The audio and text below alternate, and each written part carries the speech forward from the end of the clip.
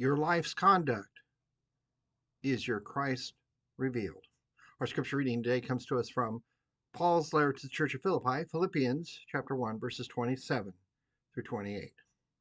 Only live your life in a manner worthy of the gospel of Christ, so that whether I come and see you or am absent and hear about you, I will know that you are standing firm in one spirit, striving side by side with one mind for the faith of the gospel, and are in no way intimidated by your opponents. For them, this is evidence of their destruction, but of your salvation. And this is God's doing.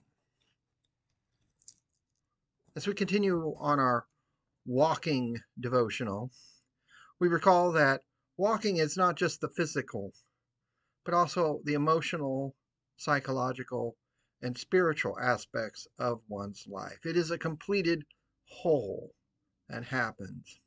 That how we uh, handle life's little annoyances, as well as the big crises in our life, reveals who God is within us and who we are with God. Paul reminds the Philippians as he's reminding us, too, who are overhearing the conversation, that wherever we are and however we behave, we either reveal Christ or deny Christ in our lives.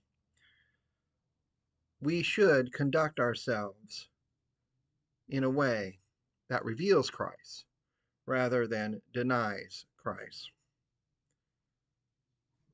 Because for others to know that we are Christians by our love, we must reveal Scripture living within us.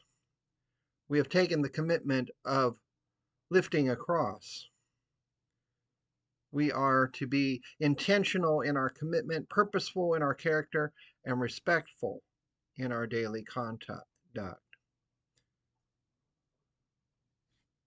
There is a great deal of conduct seen and experienced in the world around us that is harsh.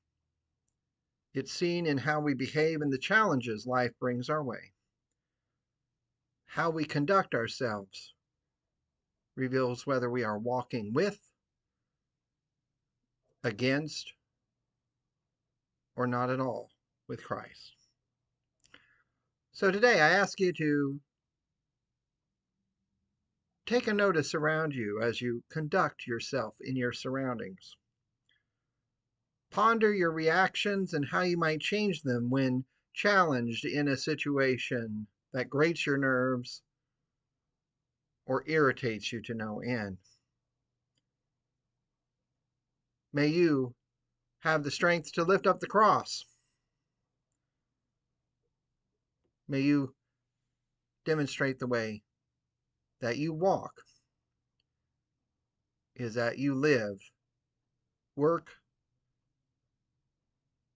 and play for Christ always in your life. Let us pray. Gracious God, we thank you that you give us the ability to conduct ourselves in manners worthy of love. Help us to demonstrate God's love in the midst of the world, a world torn by unlovable and terrible circumstances and situations. Help us to so reveal you that they see Christ within us and that they are not compelled, but impressed and consider their own walk to be closer to you. Amen. Blessings to you and yours this day and always. Goodbye.